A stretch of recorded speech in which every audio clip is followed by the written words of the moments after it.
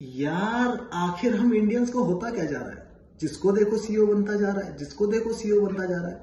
हाल ही में मुझे पता चला कि नील मोहन जी यूट्यूब के नए सीईओ बने इसके अलावा मैं अगर दूसरे ग्लोबल टेक जायंट्स की बात करूँ तो माइक्रोसॉफ्ट के सीईओ भी तो सत्या नडेला जी है।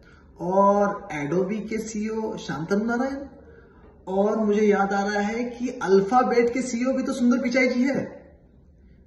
कहीं हम इंडियंस दुनिया पे कब्जा तो नहीं करने वाले। कमेंट में ज़रूर लिखिएगा तब तक के लिए मोइन पठान आपको कहता है, जय हिंद।